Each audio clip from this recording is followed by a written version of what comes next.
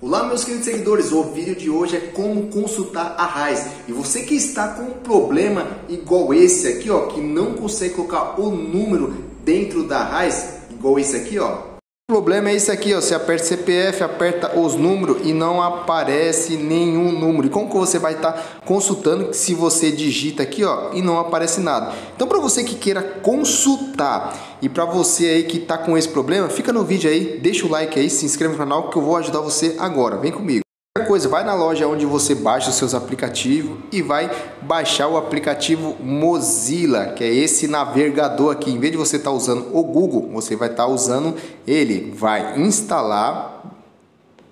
Pronto, já baixei o aplicativo. Vou abrir.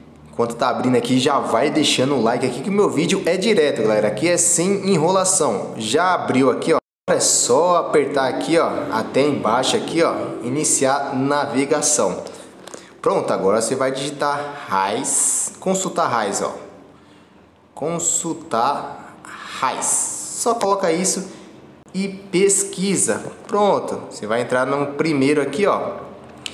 E agora vai digitar o seu CPF. Veja bem que, ó, vai aparecer os números. Vou digitar o meu CPF e esse código da imagem aqui embaixo aqui, ó, e vou apertar avançar. Tem que escrever certinho aqui, ó. O meu tá aparecendo com letra minúscula, o código da imagem, então vou colocar esse código aqui, que é o C1YOZD e o CPF aqui e apertar avançar.